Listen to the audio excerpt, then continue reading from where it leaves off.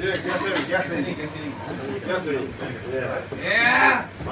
15分ぐらい日本語入ってる曲頑張って作ろうかなと思ったですねでこの曲はあの実はただあの日本語と英語の歌詞が繰り返しているだけですだからその曲の長さ内容は実はその長さの半分だけです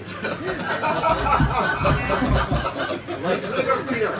数学的。うんあの曲目は。俺が英語勉強してる曲のタイトル。曲曲タイトル。あ会いたかったっていう曲です